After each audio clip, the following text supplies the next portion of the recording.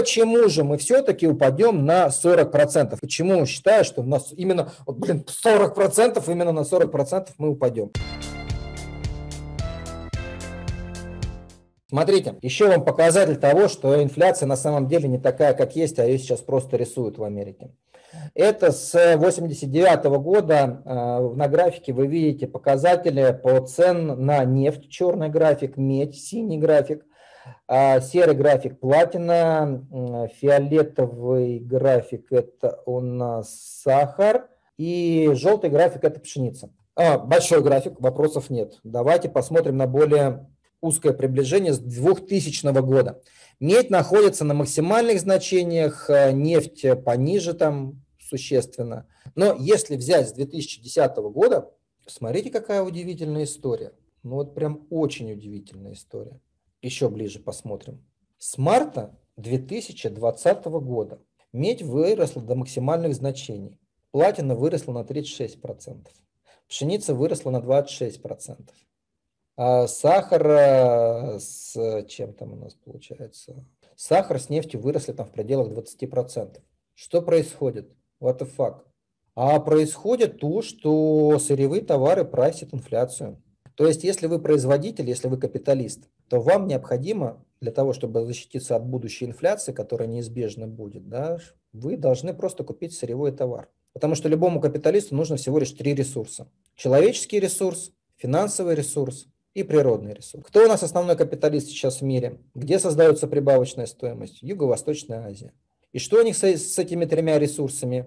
Ну, Китай в частности. Золотовалютных резервов у них достаточно. С населением вообще проблем нет, с рабочей силой. И, соответственно, если ты хочешь защититься, чем ты будешь защищаться как производитель? ты будешь покупать цены на сырьевые товары. То есть, что я вам хочу показать? Я вам хочу показать, ну, первое вот резюме такое сделать. Пусть оно длинное, ребят, но это вот та ценность. Вы получаете эту информацию абсолютно бесплатно, да? Это моя точка зрения, это мое мнение по поводу того, что же происходит. А происходит следующее. Происходит то, что мы сейчас увидим разгон инфляционных рисков, инфляционных ожиданий, и в конечном счете это приведет к увеличению стоимости деньги будут более дорогие, потому что инфляцию начнут сдерживать путем повышения процентных ставок. И мы увидим вот следующую информацию. Прям можете взять и записать да, э, эту информацию, как оценить справедливую стоимость. Есть такой показатель цена-прибыль. То есть мы берем цену компании, делим на ее чистую прибыль и получаем некий коэффициент, который показывает, сколько лет нам понадобится для того, чтобы окупить наши инвестиции. То есть если компания, допустим, стоит 100 долларов, а чистая прибыль у компании составляет 20 долларов, мы 100 делим на 20, получаем 5. 5 лет будут окупаться наши инвестиции. Если мы хотим рассчитать, насколько рентабельна компания, которую мы покупаем, нужно сделать наоборот. 100 делим на 20, получаем рентабельность, да, с какой мы, работаем. Почему это важно? Потому что когда вы инвестируете в акции, то есть у вас как у инвестора есть альтернативы. Да?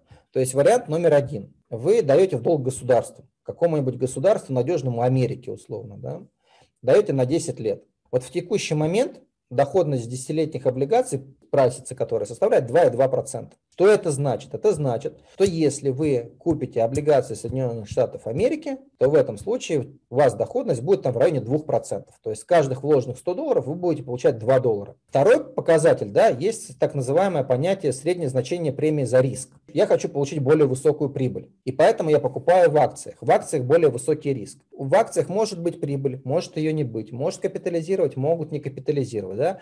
То есть там все равно есть предпринимательские риски, но я иду туда, потому что я хочу получить большую норму прибыли. И вот среднее значение премии за риск по американскому рынку составляет 4%. Почему это важно? Потому что сейчас, когда вы можете получить ставку безрисковой доходности там 2-2,5% на десятилетнем промежутке времени, и среднее значение премии за риск составляет 4%, то мы получаем, что в этом случае у вас а, форвардный показатель цена, форвардный показатель прибыль, деленная на цену, должен находиться в диапазоне 6,5-7. То есть инвестируя в акции американских компаний, вы должны иметь доходность от этих инвестиций в районе 7%. При доходности безрисковой ставки доходности 2%. Когда ставка безрисковой доходности составляла 1, ну, до недавнего времени, да, то есть она и сейчас составляет на самом деле 1, десятилетки торговали совсем недавно с доходностью, ну то есть ставка безрисковой доходности равно доходность десятилетних облигаций. Недавно это был показатель 1. Среднее значение премии за риск неизменно составляет 4. Форвардный Е равен 5. То есть средняя рентабельность американского рынка при ставке десятилетних облигаций 1% составляет 5%. P на E равно 20. Почему Баффет и говорит, да, что когда P на E американского рынка выше 20, это говорит о перекупленности рынка. Но сейчас этот показатель, ребят, для Америки составляет 40. Что такое 40 P на E по Америке? Это значит, рентабельность ваших инвестиций в акции Америки составляет 2,5%. Это значит, что покупая по текущим ценам и будущей прибыли американские компании, вы получите доходность на каждый вложенный доллар 100 долларов 2,5 доллара в год, имея все риски инфляционные, риски роста процентных ставок, да, предпринимательские риски, конкуренты появятся. То есть вы всем этим рискуете с тем, чтобы получать на каждый вложенный 100 баксов 2,5 доллара в год. Почему рынок так тряханул американский? А потому что доходности десятилетних облигаций начали расти в район 2%. Что люди начали в этом случае понимать? Зачем мне покупать акции и иметь доходность 2,5% и думать, то ли будет у меня эта доходность, то ли нет, когда я могу купить просто гособлигации США и получать доход 2%. И самое главное, это рынок прайсит, что это еще не остановится. У нас еще локдауны не прекратились, у нас еще вакцинация не такой большой объем занимает понимают. То есть инфляция-то официальная даже еще не росла, а доходность уже сравнялась облигаций и акций. Мало того, когда доходность вырастет выше 2,5, Федрезерв вынужден будет повышать процентную ставку. Но сначала свернуть программу выкупа активов, а потом и начать ужесточать кредитно-денежную политику. И это будет делать не только Федрезерв. Это уже делает Банк Китая, это вынужден будет делать Федрезерв в следующем. После Федрезерва подтянется Европа, и за Европой подтянется Япония.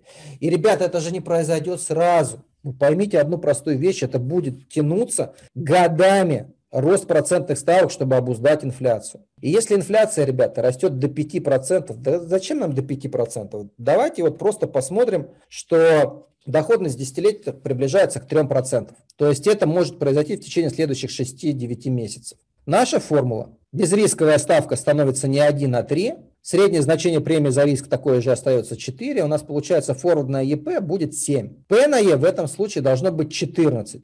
Сейчас среднее значение рынка США 40. То есть мы с 40 показателя 40, 40 П на Е падаем на 14. Насколько падаем? 14 делим на 40 умножаем на 100, получаем 35. Минус 65%. Как вам? М?